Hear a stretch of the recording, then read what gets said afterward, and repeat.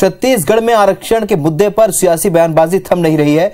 भाजपा सांसद मोहन मंडावी ने प्रदेश की कांग्रेस सरकार पर निशाना साधा है। हाईकोर्ट के फैसले को जिम्मेदार कांग्रेस को ठहराया है और मांडवी ने कहा है, मंडावी ने कहा है कि सरकार मामले को लेकर इतनी लापरवाह थी कि वकील के बारे में भी नहीं पता था।